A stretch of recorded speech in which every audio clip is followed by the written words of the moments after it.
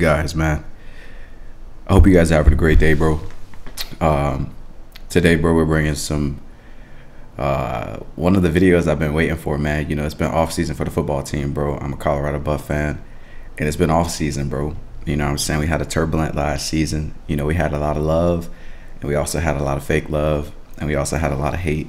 Uh, and then we also had just a lot of people that weren't Christians that were kind of mad about how we was winning when we was winning. So you know, good guys. Um, the one of the biggest things that I wanted to bring this video for you, good guys, outside of me being a Colorado Buff fan, is uh, Coach Mr. Deion Sanders. Uh, he puts a lot of content out there, good guys, through his son's platform, as well as I believe his nephew's platform. The gentleman right here, well, you'll see on the screen in a little bit. And uh, you guys can go check their pages out. Well Off Media, that's his son's page, and then Reach the People Media, that's uh, Darius is his nephew's page. And so uh, the reason I wanted to bring you this content is because there's a lot of positives with what he pr- pretty much provides to us. And when I say like a lot of positives, he gives like freaking sermons, bro. Like if you was in church, but like let's say you weren't a Christian, he'll give you like the words you need in the day to make your day better. And he just love doing it. It's just like he just he, he just in love with the process of delivering the Lord's word in an articulate way that may not even be in the way that God would like would really 100% want him to give it to but like he giving it to everybody. Like it don't matter if you're muslim asian it don't matter if you're buddhist taoist it don't matter what it is. You just gonna get that work. You gonna get that work for sure. And so for me good guys i wanted to bring this video to you bro because today he brought in a guest. And this is a military uh, marine.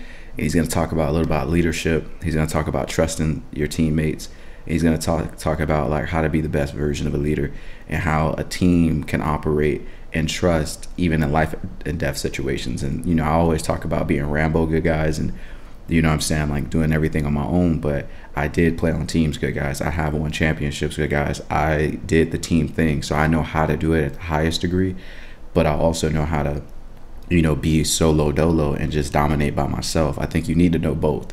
But at the same time, a team is so much more valuable. I would rather have a team right now, good guys, than do everything I'm doing solo dolo. Though I love doing it solo dolo, and it's just I feel much better doing it solo dolo. It ain't nothing like having a championship squad with everybody got that same mentality. You know, everybody is hungry. Everybody want this so bad. Everybody willing to sacrifice it all. Everybody willing to do what is necessary to win and win all the time and it's very it's been very difficult for me to find that. But for you good guys i want to bring this video. Let's get straight into it. I ain't really got too much more to say to y'all boys bro. Hope y'all enjoy it. Hope y'all do it. Like the video. Subscribe. Y'all already know what time it is man.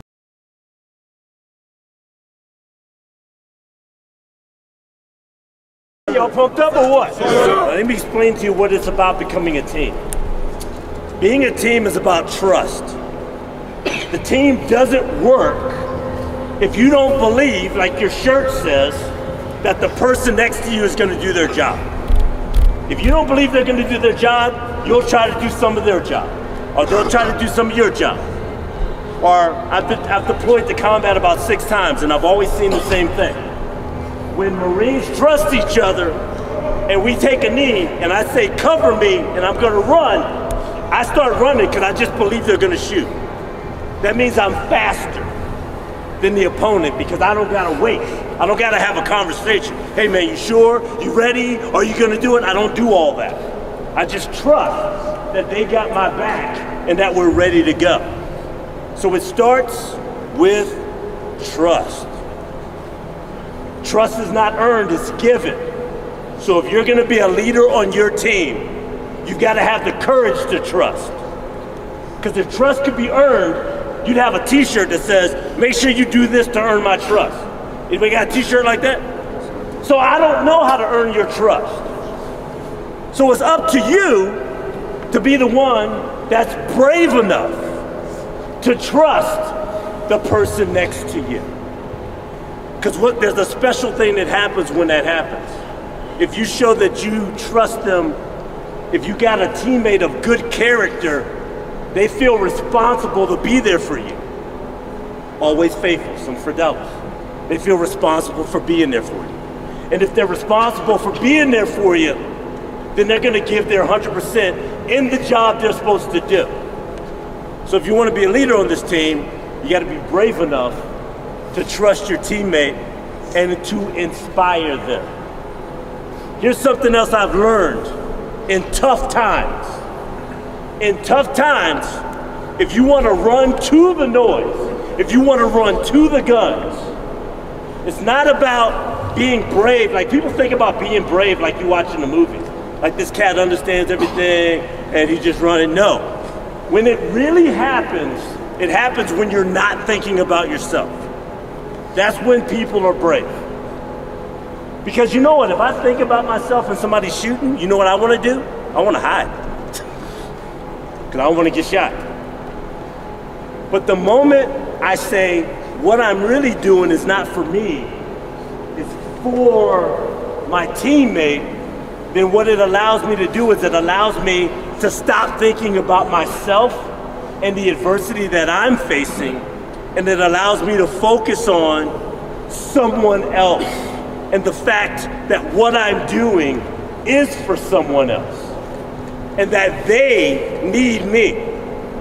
And it allows me to stop thinking about my own pain, my own, I'm not, I'm not thinking about how tired I am. I'm not thinking about the last thing I messed up. All I'm thinking about is he needs me. That's all I'm thinking about. Is if I don't play hard, if I don't push through, if I don't bring the ammunition, if I don't climb, climb over that last wall, he might not make it. And if I can think about that, if I can think about that and not think about me for a moment, it allows me to go a little bit further. That's what we do. That's what enables us to push and run to the guns. Because if you know anything about Marines, we're a weird group of people. I ain't gonna lie, we're a little weird. Where there's a thing about us where we like adversity almost everybody here, PTs on their own, regardless of age. We were talking like he built an obstacle course in his backyard.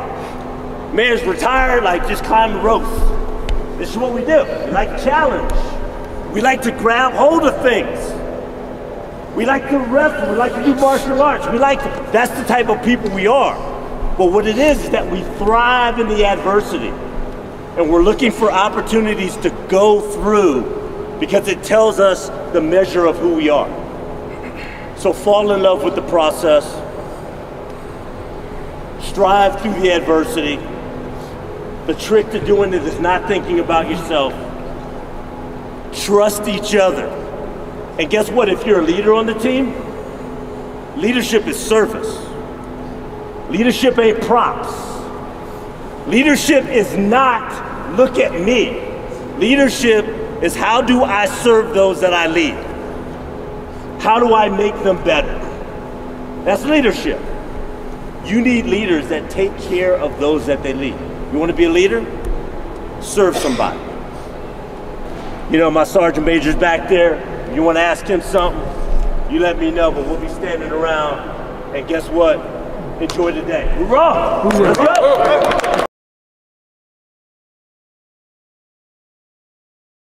All right, good guys. So obviously, man, this is one of my shorter videos, but I'm not really gonna hold you guys too long, man. Um, you know, I got a lot from this video, bro. You know, and this is what you know. This is what Mr. Sanders does, bro. This is what he does, bro. He's just he's just an elite guy, bro. You know what I'm saying? Why I have an elite respect for him as a man, bro, and as a father. I don't I don't know this man personally, y'all. So I'm just not going I don't gas dudes up. That's just not what I do, bro. I don't I don't know him from a can of paint, bro. I don't know him behind closed doors and how he really is, but the man that he projects online, the man that he projects to the media, um, it seems like a really great guy, bro.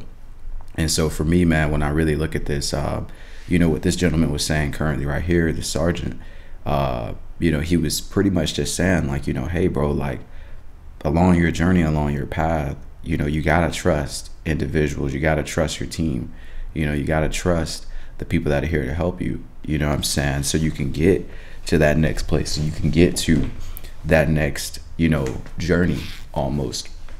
And so for me, good guys, like that's one of the hardest things in this new journey that I'm on with business. And so like he was saying, good guys, you got to do stuff and have service for others. Like, good guys, I don't have to make these videos. I'm posting these videos every single day, and I don't get a lot of views, bro. But I do it, good guys, not because I'm trying to breach the, you know, subscriber mark or I'm trying to breach this. I'm just doing this, good guys, because I know one day I'm going to become the greatest version of myself and I'm going to leave behind a curriculum and I'm going to leave behind some videos and my words and these words will be able to help young men, good guys all around the world and to be able to help them be able to go in a path in a direction that is positive and allows them to understand how to better themselves through such situations that they may not understand how to. And so that's why I create these videos. And, you know, I am a, a, a, man that believes in God and the intents of purposes in the Tanakh, which is in Christianity, but in the Jew, Judaism, uh, Judaism. Uh, so for me, guys, like I understand that it's important to do charity, and I'm not making any money from this, but I'm giving y'all a lot of my time doing this and I, I'm not doing it because I want recognition, good guys. I'm doing this because I really want to help you. I don't care if y'all subscribe. As long as y'all view this and YouTube allows it to be viewed and promotes it and gets it out there, I am okay with that, bro. Eventually it's all gonna come. Eventually it's all gonna come. So sometimes good guys like just doing things in this way can help so many people and I have people that view these videos every single day. They wait for me to post these videos, good guys. I have a group of them and I'm very blessed to have that small group that will turn into a larger group. And they maybe need these videos. They depend on me. So I can't let them down. You see what I'm saying, good guys? They may depend on my words. They may depend on my wisdom. They may depend on my experience that I've been through, my path of righteousness, my trials and tribulations to lead to this point. And good guys, it's all about serving the creator, bro. Doing the right thing on this earth to serve the creator so that we can help each other. And this gentleman right here understands that, but in a team aspect in the military. You know what I'm saying? So you can do this in any system, good guys. You could do this in business with your, you know, individuals in business that you may be working alongside in your department. You know, you may be on a marketing department. You may be in the, you know, uh, sales department. You may be in the uh, operations department. You may be in the accounting department. These are all teams, good guys. And as a leader, as leaders, as individuals that may be in supervisor, manager positions, whatever hierarchy position you may be in, good guys, you have the ability to do what he is saying and, and work with a team and, and cultivate a culture. But sometimes, good guys, you have people on the team that don't want to be a part of the team, and you can't force people to be a part of the team. So that's where I get my angriest good guys and that's something that i got to work on so just to give you a little bit of experience i have to work on berating people like my dog kobe because I get so frustrated because of the many things that I had to go through to be able to hit in my first business that milestone right there. And we're about to be at a million. We're $120,000 away. And I, I should be able to get it, you know, uh, pro- probably like I'm hoping before the end of this month, just based off my skill set, the skills that pay the bills. So, but I may be able to get it probably around like mid February at latest. But regardless of the fact, this is my first business, good guys, and like I'm dominating, I'm just better. And when I have to deal with individuals, sometimes good guys that just are, are not trying to work, bro. They just not trying to do what they do. Eh, like basketball, I knew what to do to help them.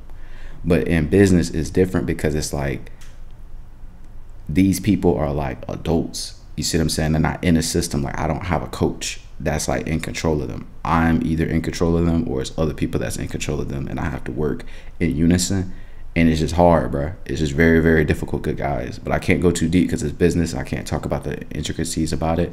But I'm talking about other businesses, not the business that I'm currently working in.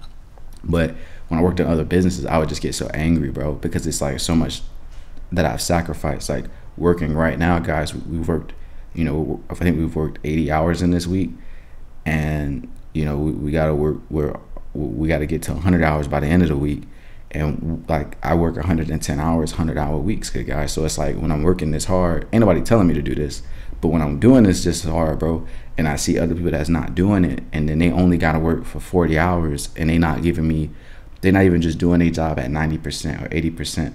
Like they doing less than that, and they just taking money, bro. And it's like it's so frustrating, bro. It's so frustrating because I love what I do, and it's like I don't want, I, I don't care that they don't love what they do, good guys. It's just the fact that like, bro, like how can I pull the best out of you when you don't want the best? So why are you here?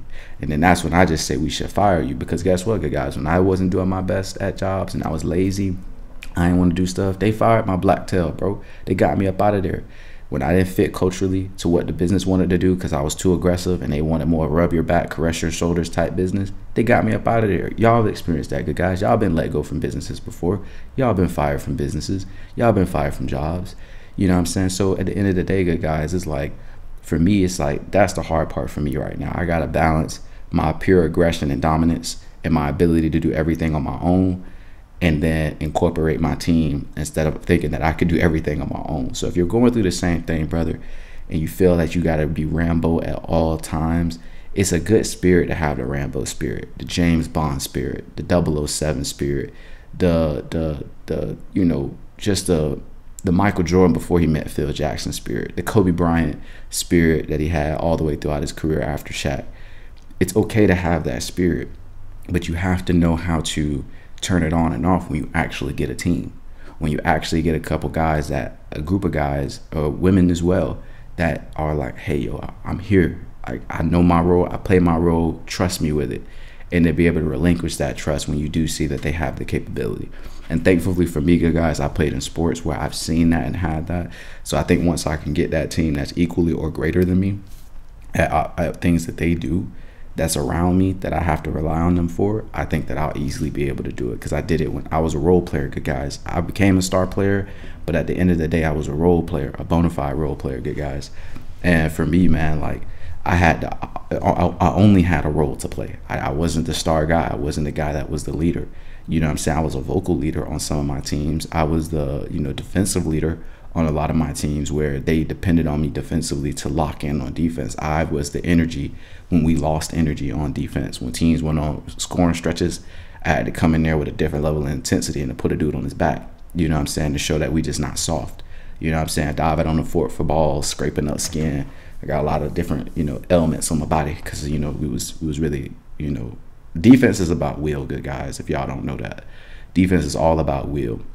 And if you ever play sports, like offense is just about skills and the skills to pay the bills, and it does have some will in it. But defense is like I'm not gonna allow you to do what you want to do, and it's consistently doing that as much as possible. And then if you're going up against someone that's great, that practices so much on to be able to stop, to be able to dominate you offensively, that is when you have to say, okay, well, I'm not going to let you do what you want to do all the time. You're going to have to work and fight for everything. And then I'm going to stop you on the ones that you thinking that you're going to get them big plays, them, them, them plays that's like, oh, I'm going, I'm a dunk on. If this wasn't you, I'm dunking on this dude, this play. I'm catching the alley oop over his back. This play, he's not even catching the alley. It's getting tipped. It's getting thrown off the backboard. You see what I'm saying? Like, it's certain things like that. Momentum momentum shifter plays, you stopping them. But neither here nor there, good guys. Just to stay focused, like this this gentleman, the Marines, good guys. He really broke down a lot of positive things about you know leadership and working with your team. Take a lot from it, good guys. If you play sports, you know what I'm talking about already. If you haven't, um, you can figure these stuff these things out and start it at work. Try to get in a leadership position like a management supervisor position. Start small and then once you can do that, you'll be able to then build it. If for whatever reason you're really good at what you do, but businesses don't want to put you in those management roles, similar to myself, all you got to do is go create your own business, how I did, and now you have the ability to do it. So there's no excuses. Go out there and try to figure out how you can, you know, lead a team. It's going to be difficult at first because you're not going to know how to do majority of this stuff. But watch videos, watch content like myself, other content out there, and you'll be able to get it, brother. But outside of that, man, I hope y'all have a blessed rest of y'all day, and I'm out.